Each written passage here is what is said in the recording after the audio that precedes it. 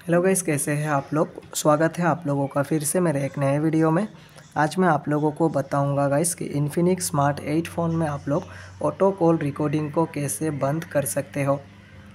अगर आपके पास एक इन्फिनिक्स स्मार्ट एट फ़ोन है और इस फ़ोन में आपको ऑटो कॉल रिकॉर्डिंग को बंद कर देना है मतलब यहाँ पर जो आपके फ़ोन में ऑटोमेटिकली कॉल रिकॉर्ड हो रहे हैं इस आपको पता भी नहीं चल रहा है कि ऑटोमेटिकली आपके फ़ोन में रिकॉर्ड हो रहे तो अगर आप लोगों को चेक भी करना है कि आपके फ़ोन में ऑटो कॉल रिकॉर्डिंग ऑन है क्या ऑफ़ है, आपको कैसे चेक करेंगे?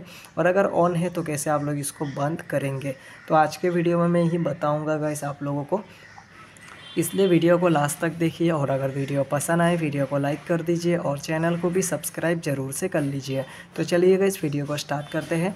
अगर आपके फ़ोन में भी सारे ही कॉल पे रिकॉर्ड हो रहे गए अननाउन नंबर हो या सेव किए हुए नंबर हो या ऑफ़िस के नंबर हो, सभी पे रिकॉर्ड हो रहे तो उसको बंद करने के लिए आपको सबसे पहले जो है अपने फ़ोन के एप्लीकेशन को ओपन कर लेना है, जिससे आप लोग कॉल वगैरह करते हो।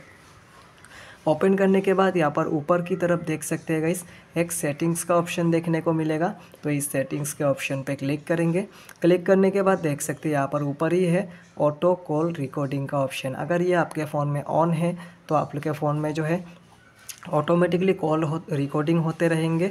ऑफ़िस के नंबर से हो अननाउन नंबर से हो या सेव किए हुए नंबर से हो, सारे ही नंबर पे ये कॉल रिकॉर्डिंग होने लगेंगे। तो अगर इसको बंद करना है तो यहाँ पर से सिंपली आप लोगों को जो है इस ऑप्शन को बंद कर देना है। और यहाँ पर देख सकते हैं, बंद हो चुका है और बंद होने के बाद आपके फ़ोन में जो है किसी भी कॉल में ऑटोमेटिकली रिकॉर्ड नहीं होगा। ठीक है तो यहाँ पर से आप लोग चेक भी कर सकते हो और इसको बंद भी कर सकते हो। तो ऐसे करके जो आप लोग अपने इन्फिनिक्स स्मार्ट एट फ़ोन में ऑटो कॉल रिकॉर्डिंग को बंद कर सकते हो। तो कैसा लगा आप लोगों को ये वीडियो? अगर वीडियो पसंद आया हो तो वीडियो को लाइक कर दीजिए और चैनल को भी सब्सक्राइब ज़रूर से कर लीजिए। मिलते कल एक नेक्स्ट वीडियो में, तब तक के लिए बाय बाय